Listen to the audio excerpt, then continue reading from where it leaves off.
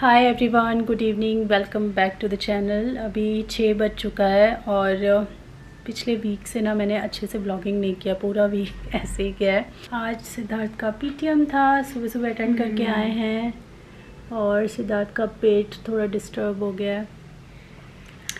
सुबह से थोड़ा परेशान था पेट में दर्द हो रहा था और अभी हमें जाना है शॉपिंग के लिए मतलब सब्जियों की शॉपिंग के लिए और कोई शॉपिंग नहीं करनी है। सब्जियों की शॉपिंग करनी है। बिकॉज़ मेरा गिफ्ट आप समझ लीजिए करवा चौथ गिफ्ट जो है वो आ गया है। बहुत टाइम से मुझे लगता है साल डेढ़ साल से मैं प्लान कर रही थी। सोच रही थी लूँ लूँ लूँ लूँ। सेलेक्ट भी करके रखा रिसर्च भी करके रखा सब कुछ लेकिन चीज़ें कई बार इतनी महँगी होती है ना, और आपको डर लगता है कि आप उस चीज़ को इतनी महँगी लोगे और फिर उसको यूज़ कर पाओगे, यूटिलाइज़ कर पाओगे उतना जितना आप सोच रहे हो। क्योंकि सोचने और उसको फिर एग्जीक्यूट करने में और डेली बेसिस पे वो काम करने में ना, दोनों चीज़ें अलग अलग होती हैं। तो लग रहा था कि यार इतना हम लोग कर पाएँगे एवरीडे पता चला ले लें और वो फिर मशीन ऐसे ही पड़ी रहे। तो फाइनली थोड़ा सा प्राइस भी उसका सस्ता हुआ और जो भी कार्ड वगैरह पे डिस्काउंट करके सब कुछ हमने देखा तो जैसे उसका ऐसे तो बहुत सस्ता नहीं है लेकिन जितना उसका प्राइस ऐसे रेगुलर रहता है उसे काफ़ी सस्ता मिला। तो एज अ करवा चौथ गिफ्ट वो मुझे गिफ्ट मिल चुका है। और वो बाहर रखा है अभी डिलीवर हुआ है तो वो अभी मैं अनबॉक्स करूँगी। और पता नहीं पहले करूँगी या बाद में फिर उसके बाद जाएँगे। शॉपिंग के लिए सब्ज़ी की शॉपिंग के लिए। तो ये आ गया मेरा करवा चौथ का गिफ्ट पिछले दो साल से मैं बोल रही थी इसे दिला दो दिला दो। ये खाली मतलब मेरे लिए नहीं है ये पूरी फैमिली के लिए है। ध्यान से हाथ मत काट देना पर इसकी ज़िम्मेदारी किसके ऊपर होगी? बनाने की ना? हाँ। तुम्हारे पति ने की मेरे ऊपर। अच्छा।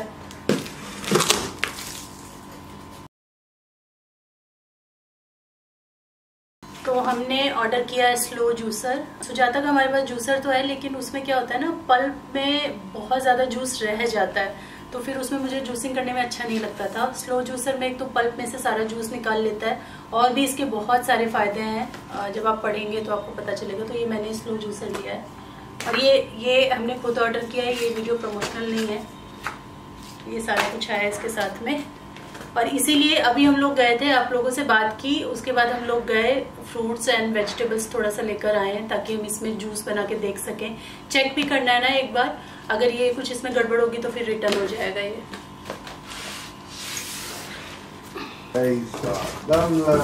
वाह। कुर्सी देख रहे हो बेटा इसके अंदर में?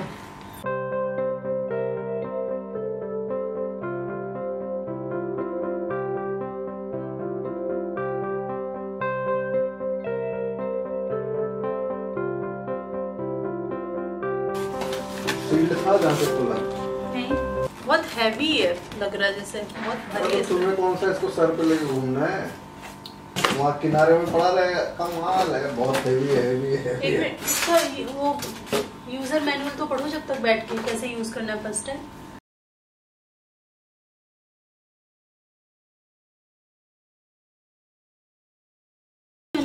इतना छोटा सा इतना हैवी एक्सपेक्ट नहीं किया? था भाई रहा। मोटर उसका बहुत हेवी है। हाँ। ये तो ये वाला ना कई कलर्स में था ब्लैक में था रेड में था मुझे रेड बहुत अच्छा लग रहा था। कितना लेगा ये? 240 बट ये हमारे ना मतलब किचन के और सामान के साथ एकदम अच्छे से मैच हो जाता है जैसे फ्रिज के साथ में ओ है जो मेरा नया वाला उसके साथ में। फिर इसीलिए मन मार के मैंने ये कलर ले लिया। वैसे रेड होता ना तो पॉप करके आता किचन में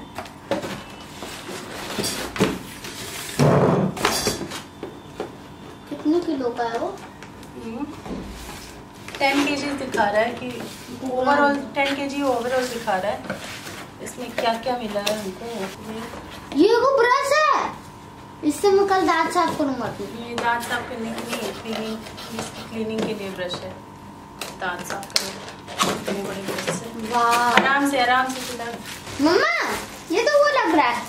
मम्मा हाँ। ये तो वो लग रहा है। सुनो दुनिया वालों मैं हूँ सिद्धार्थ राय ये तो वो लग रहा है सिद्धार्थ कह रहा है। ये वो है सुनो दुनिया वालों। भोपो भोपो है ये भोपो। और मैं इससे ब्रश करने वाला हूँ। इसमें फ्लावर जो में फ्लावर करूँगा। काफ़ी टाइम लग गया हमको ना उसको समझने में बिकॉज़ कई तरह की अटैचमेंट थी और जब भी आप कोई नई चीज़ ऐसे लेते हो ना तो फिर बहुत उसको संभल संभल के यूज़ करते हो कहीं टूट ना जाए कुछ। तो देखते करते करते कुछ चीज़ें लॉक ही नहीं हो रही थी तो वो सब करते करते काफ़ी टाइम लग गया। तो अभी तो हम जूस नहीं बनाने वाले हैं उनका, क्योंकि रात हो गई है। तो कल उसको यूज़ करके देखेंगे, अभी जस्ट असेंबल करके मतलब सारी अटैचमेंट को वॉश करके असेंबल करके रख देंगे। और यहाँ पे मूली, क्योंकि अभी हम लेकर आए थे मार्केट गए थे ना तो एकदम फ्रेश मूली मिल रही थी। तो मूली मिल रही थी तो हस्बैंड को मूली के पराठे खाने हो गए। तो फिर फटाफट अभी उसी की तैयारी मैं कर रही हूँ और बनाऊँगी गर्मा गर्म मूली के पराठे।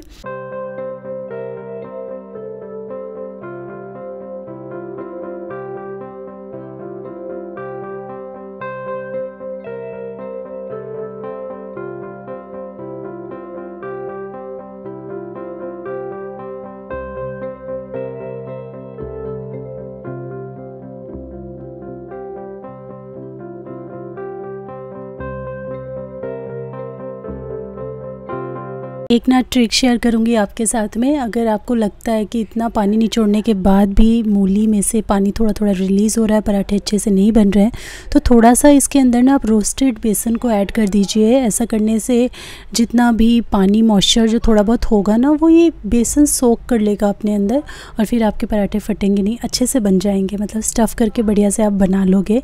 एक बार ये ट्रिक ट्राई करके देखना, ज़रूर वर्क करेगी। बहुत टाइम समझने में लग गया इसको। यहाँ रख दिया हमने। अभी यहाँ पे सारा सही करके इसको भी सेट करना है क्योंकि ये तो प्लेटफॉर्म पे ही रहने वाला है। और लगभग फोर्टी मिनट लग गए हमें इसे समझने में कि कैसे कैसे इसको असेंबल करना है बिकॉज़ इसमें ढेर सारी अटैचमेंट है मैं दिखा देती हूँ। ये देखो मतलब भर गया है ये। ये भी है ये भी है। काफ़ी सारी अटैचमेंट्स हैं इसके अंदर। फेंक दिया। नहीं फेंकूँगी क्यों? वो मैं पी गई जो तुमने छोड़ा था ना। आज इसको हम चेक तो नहीं कर सकते तो अभी ऑन करके नहीं देखा है हमने बिकॉज़ जूस बनाएँगे तो अभी पिएगा कौन रात को। तो मॉर्निंग में हम लोग जूस उसका आ, मतलब बना के उसमें ट्राई करके देखेंगे और देखेंगे कैसा चल रहा है। और फ़िलहाल अभी मैं मैरिनेट करने जा रही हूँ अभी मतलब जब आपसे बात की उसके बाद बहुत टाइम हो गया है। मूली के पराठे बने खाए पिए हजम भी कर लिए काफ़ी देर पहले ही खा चुके हैं एक डेढ़ घंटा पहले हम लोग। अभी साढ़े नौ हो रहा है और कल हस्बैंड चाप ले आए थे, ढेर सारी चाप, मुझे लगता है एक सवा एक किलो लेकर आए थे। इस एरिया में मिलती नहीं है तो जहाँ हम लोग पहले रहते थे, वहाँ गए और वहाँ से लेकर आ गए ज़्यादा करके। तो आज मुझे उसे मैरिनेट करके रखना है। कुछ कुछ यहाँ पे ना सब्ज़ियाँ वगैरह मतलब पत्ते वगैरह कुछ करके रखा है मैंने। अभी आपको रेसिपी आपके साथ शेयर करूँगी। कुछ अलग तरीके का बना रही हूँ। एक तो हम ना बेस मसाला तैयार करेंगे चाप के लिए, जो कि तीनों में जाएगा। तीन अलग अलग तरीके की चाप मैं यहाँ पे बना रही हूँ। तो सबसे पहले तो हम यहाँ पे लहसुन ले रहे हैं, लगभग आधा छोटी कटोरी लहसुन था। और लहसुन जितना ले रहे हैं उसका फिफ्टी सिक्सटी परसेंट आप अदरक ले लीजिए। और आपको लेनी है ढेर सारी हरी मिर्च तो यहाँ पर लगभग आठ से दस से बारह तक आप हरी मिर्च अकॉर्डिंग जो आपका टेस्ट है मिर्च खाने का, उस हिसाब से आप ले लीजिए। थोड़ा सा इसके अंदर आप पानी ऐड करके इसको बढ़िया तरीके से पीस लीजिए। और ये हमारा जिंजर गार्लिक और ग्रीन चिली का पेस्ट बनके तैयार हो जाएगा। उसके बाद एक पेस्ट हमको और बनाना है, जिसमें हम धनिया, पुदीना और नींबू के रस का इस्तेमाल करने वाले हैं। तो यहाँ पे ढेर सारा आपको पुदीना लेना है और जितना पुदीना, उससे डबल लगभग धनिया लेनी है। इसके अंदर आपको थोड़ा सा नींबू का रस निचोड़ना है, ताकि एकदम काला काला ना पड़ जाए। और बस इसको आप थोड़ा सा पानी डाल करके ग्राइंड कर लीजिए तो ये हमारा दूसरा पेस्ट भी बन तैयार हो गया है।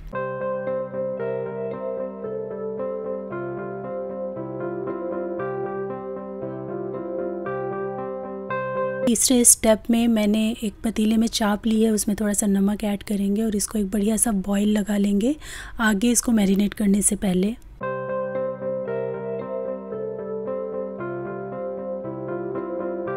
मैरिनेशन के लिए मैंने यहाँ पे लिया है दही। तो ये मैं क्वांटिटी के हिसाब से ही ले रही हूँ। तो दही ले लिया है, इसको अच्छी तरीके से फेंट लेंगे, जो लम्ब्स हैं वो सारे चले जाएँ, उसके बाद हम इसके अंदर ऐड करेंगे मसाले मसाले इसमें काफ़ी सारे जाने वाले हैं। एक चम्मच तक हम इसमें हल्दी का पाउडर ऐड करेंगे, एक से डेढ़ चम्मच तक हम इसके अंदर लाल मिर्च का पाउडर ऐड करेंगे, फिर हम इसके अंदर डालेंगे ब्लैक पेपर, बहुत अच्छा इससे टेस्ट आता है। तो एक चम्मच लगभग वो भी डाल दिया है मैंने, फिर इसके अंदर जाएगा ब्लैक सॉल्ट जब कोई भी आप तंदूरी खाना बनाते हैं तो उसके अंदर काला नमक बहुत अच्छा एक फ्लेवर लेकर आता है तो ज़रूर यूज़ करें। भुना हुआ ज़ीरा का पाउडर डाला है मैंने और ये है गरम मसाला। उसके बाद हम इसमें थोड़ा सा चंकी चाट मसाला यूज़ करेंगे चटपटे फ्लेवर के लिए। साथ ही थोड़ा सा मैं इसके अंदर धनिया का पाउडर भी डाल रही हूँ जो कि ऑप्शनल है। चाहें तो आप यूज़ करें, चाहें तो ना करें। तो हाफ़ चम्मच के आसपास मैंने धनिया का पाउडर लिया है। उसके बाद जो हमने पेस्ट बना के रखा था, जिंजर, गार्लिक और ग्रीन चिली का, ये हम इसके अंदर लगभग दो बड़े चम्मच भर के यूज़ करेंगे। बस इन सारी चीज़ों को आप अच्छे से मिक्स कर दीजिए। ये जो हम मैरिनेशन बना रहे हैं, ये दो तरह के जो दो फ्लेवर के चाप हैं, उनमें एज अ बेस काम आएगा। बाकी अलग अलग चीज़ें हम उसमें कुछ में मिलाएँगे, कुछ में नहीं मिलाएँगे, कुछ में बस यही पेस्ट रहेगा। तो ये बहुत बढ़िया पेस्ट है। ख़ासकर चाप के लिए बहुत अच्छा फ्लेवर इससे ऐड होता है। लास्ट में मैं इसके अंदर ऐड कर रही हूँ एक बड़ा चम्मच भर करके सरसों का तेल। और आप इसमें चाहें ना तो जो भुना हुआ बेसन होता है ना ड्राई रोस्ट किया हुआ बेसन, वो भी आप इसके अंदर ऐड कर सकते हैं। काफ़ी अच्छा सौंधापन इसके अंदर उससे ऐड होता है। तो बस सारी चीज़ों को मिला दीजिए। थोड़ा सा मैरिनेशन निकाल के हम साइड रख लेंगे। उसके बाद यहाँ पे हम ये धनिया पुदीना काफ़ी स्ट्रॉन्ग टेस्ट वाला इस आ, मतलब ये पेस्ट है जिसमें पुदीना का काफ़ी स्ट्रॉन्ग फ्लेवर आ रहा है। क्योंकि हम बना रहे हैं पुदीना चाप जो पहला फ्लेवर होगा हमारा। तो उसके अनुसार मैंने इसमें ढेर सारा ये धनिया पुदीने की जो चटनी है या पेस्ट आप बोल लीजिए इसको मिला दिया है। चाप को मैंने बीच में से ऐसे लंबाई में काट आ, काट लिया था। इससे क्या होता है बहुत अच्छा सा एक आ, पका हुआ एक ग्रिल जो फ्लेवर है, वो हर तरफ़ से आता है। गोल काटो तो फिर उतना अच्छा जो है ना, सिकती नहीं है चाप ओ में। लंबाई में कट करने से अच्छी रहती हैं। तो इस तरीके से लंबे लंबे पीसेस में मैंने कट कर लिया था। ये ऐड कर देंगे, साथ ही इसमें बड़े बड़े चौकोर कटे हुए जो कि स्क्यूवर्स में अच्छे से आ जाएँ। वो वाले हमने प्याज लिए हैं, टमाटर लिए हैं। टमाटर को सीड्स अलग करके तब उसका ऊपर का हिस्सा यूज़ करना है। और साथ ही हमने लिया शिमला मिर्च। अच्छी तरीके से इसको मिक्स कर देंगे। एक डिब्बे में मैं इसको भर दूँगी और फ्रिज में डाल दूँगी। तो ये पहला जो है, हो गया है।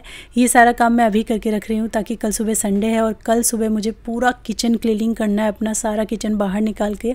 तो इस वजह से ये मैं अभी करके रख रही हूँ ताकि मुझे कल खाना बनाने की झंझट ना हो। सुबह इनको निकालूँ फ्रिज में से स्क्यूअर्स में लगा के ओटीजी में डाल दूँ और बस ये बन जाए। यहाँ पर जो हमने मैरिनेशन बचा करके रखा था, वो हमने लिया है। इसके अंदर थोड़ा सा मैं कलर ऐड कर रही हूँ। बिकॉज़ बाहर जो आप चाप खाओ ना, उसमें सब में कलर तो ऐड होता ही है। और क्योंकि मैं ये अलग अलग कलर में बना रही हूँ, इसलिए थोड़ा सा ऐड करना ज़रूरी था। वैसे रेगुलर जब बेसिस पे मैं बनाती हूँ, मैं कभी कलर ऐड नहीं करती हूँ, बस आज थोड़ा सा कर रही हूँ। तो ये फ़ूड ग्रेड का जो कलर है, वो मैंने थोड़ा सा ऐड किया है इसमें। उसके बाद इसमें चाप डाली है और वही प्याज, टमाटर, शिमला मिर्च ऐड करेंगे, अच्छी तरीके से मिक्स करेंगे, एक डब्बे में भरेंगे और इसको भी फ्रिज में डाल देंगे। तो ये हमारी दो तरह की चाप मैरिनेट हो चुकी है। जो तीसरे नंबर की हम चाप बना रहे हैं, वो वाइट रखेंगे हम उसमें। ना ही ग्रीन कलर होगा, ना ही ऑरेंज कलर होगा, क्योंकि वो हम या तो अफ़गानी बनाएँगे या तो मलाई बनाएँगे। तो उसके लिए मैंने यहाँ पे एक बाउल में थोड़ा सा दही लिया है। इसको हम अच्छे से फेंट लेंगे। फिर इसके अंदर मैं ऐड करूँगी ब्लैक पेपर मैंने फेंटा नहीं यहाँ पे। बाद में शायद भूल गई थी तो बाद में फेंटूँगी। ब्लैक पेपर लिया है, ब्लैक सॉल्ट लिया है, यहाँ पे गरम मसाला लिया है और इसमें कोई भी ऐसा कलर जैसे हल्दी, लाल मिर्च वो सब नहीं डालना है कि इसमें कोई कलर ऐड हो। आपको ऐसे कलर इसमें ऐड करने हैं जिससे ये वाइटिश रहे थोड़ा सा फिर हमने इसमें चाट मसाला ऐड कर दिया है। ये जो हमारा ginger garlic green chilli paste था, ये भी हमने ऐड कर दिया है। सारी चीज़ों को अच्छे से मिला करके और अच्छी तरीके से इसको दही को स्मूथ कर लेंगे और उसके बाद फिर वही सारी चारों चीज़ें हम इसमें ऐड करेंगे, चाप प्याज, टमाटर और शिमला मिर्च और इसको भी मैं ढक करके आराम से रख दूँगी फ्रिज में। ये तीनों मैरिनेट हो जाएँगी, फिर सुबह हम चाप बनाने वाले हैं इनसे।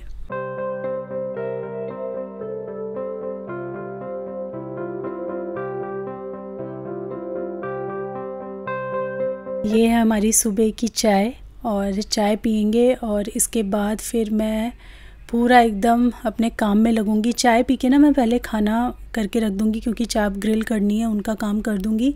उसके बाद मुझे एक एक एक एक सामान किचन में से निकालना है। साल में एक बार दिवाली के समय मैं ये काम ज़रूर करती हूँ। तो निकालूँगी सारा सामान और ये बहुत बड़ा टास्क होता है। मतलब एक एक कोनों कोनों में से हर चीज़ निकालना, उसको क्लीन करके वापस किचन क्लीन करके और सामान को भी क्लीन करके वापस जमाना किचन काफ़ी डिफ़िकल्ट टास्क होता है। पूरा दिन मैं कहूँगी इसमें लग गया था। फिर भी शाम तक, मैं कहूँगी एट्टी परसेंट ही संभल पाया किचन पूरा हंड्रेड परसेंट तो नहीं हो पाया था। तो फटाफट चलिए, पहले खाना बना लेते हैं। इसके लिए मैंने यहाँ पे 230 डिग्री सेल्सियस या जो भी मैक्सिमम टेम्परेचर है ना आपके ओटीजी में, वो आप लगा दीजिए। और 10 मिनट के लिए हम कर लेंगे प्री हीट और फिर सेम टेम्परेचर पे मतलब जैसे मेरे जो अवन में है 230 डिग्रीज़ का टेम्परेचर हाईएस्ट है। तो उस पर मैंने लगा दिया और 30 मिनट 25 टू 30 मिनट के लिए आपको इसे ग्रिल करना है। और ग्रिल करने के बाद फिर जो एक होता है ना, बाहर से कई बार इफ़ेक्ट नहीं आता अच्छा उसके लिए हम इसको गैस पे भी थोड़ा सा ग्रिल करेंगे, वो चित्तियों वाला इफ़ेक्ट पूरा देने के लिए। तो बस इस क्यूवर्स पे इनको जमा लीजिए और फिर इसको हम ओवन में डाल देंगे।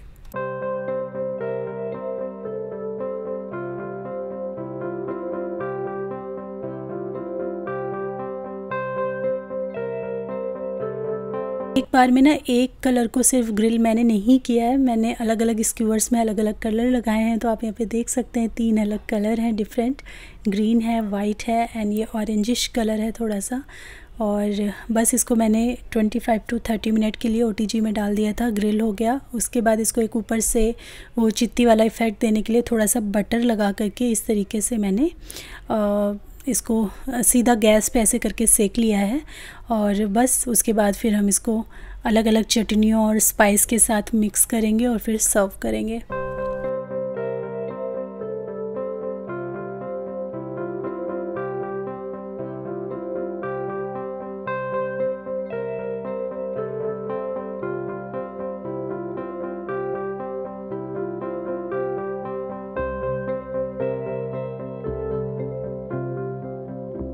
यहाँ पे मैंने मिक्सिंग बाउल ले लिया तो सबसे पहले हम मलाई चाप करने वाले हैं बिकॉज़ उसका कलर हल्का है ना तो सबसे पहले वही कर करके हम निकाल लेंगे।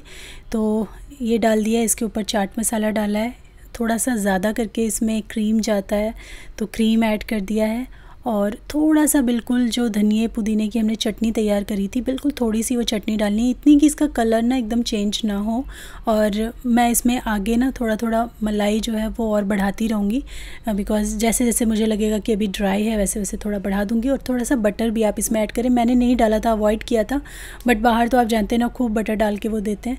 तो उसी हिसाब से आप इसमें अगर चाहें तो ज़्यादा बटर भी यूज़ कर सकते हैं। मैंने नहीं डाला था, लेकिन इस स्टेज पर वैसे पड़ता है बटर और यहाँ पे इसको अच्छी तरीके से मैंने कर दिया मिक्स और यहाँ पे पीसेस जो हैं, ये छोटे छोटे इस तरीके से कैंची से मैंने कट कर दिए हैं। तो ये हमारी मलाई चाप बन गई। सेकंड वाला जो वर्ज़न है, वो मैं यहाँ पे ये जो हमारा पुदीना चाप था, ये ले रही हूँ। इसमें भी थोड़ा सा क्रीम पड़ेगा, थोड़ा सा चाट मसाला पड़ेगा, थोड़ा सा आप वो चटनी डाल लीजिए। इसमें चटनी ज़्यादा पड़ेगी क्रीम कम पड़ेगी और बस इसको अच्छी तरीके से मिक्स कर लीजिए। इसको भी मैं सर्विंग ट्रे में डाल दूँगी। तीसरा नंबर है यहाँ पे, ये हमारे जो तंदूरी चाप हैं। इसमें आपको सिर्फ़ थोड़ा चाट मसाला डालना है तो डालिए अदरवाइज़ जो ये बाउल में ही लगा हुआ है ना ग्रेवी इसी के साथ आप इसको थोड़ा सा मिला करके और सर्विंग ट्रे में सजा दीजिए। बस ये बहुत ही यमी से तीन तीन तरह के चाप। अगर आप चाप बना रहे हैं किसी पार्टी के लिए गेट टुगेदर के लिए तो इस तरीके से अगर आप प्रेजेंट करेंगे, क्योंकि बहुत ज़्यादा मेहनत नहीं है, कुछ अलग अलग करने में लगभग बेस सबका एक ही जैसा रहता है। टेस्ट थोड़ा थोड़ा अलग होता है बिकॉज़ इन्ग्रीडियंट का हेर फेर रहता है। तो इसको आप बनाइए ट्राई कीजिए अपने दोस्तों को खिलाइए, अपने मेहमानों को खिलाइए। ये डेफ़िनेटली उनको पसंद आने वाला है। चलिए आज की वीडियो में यहीं पे एंड करती हूँ। आपसे मिलूँगी मैं अपनी नेक्स्ट वीडियो में। तब तक लिए thanks for watching take care bye bye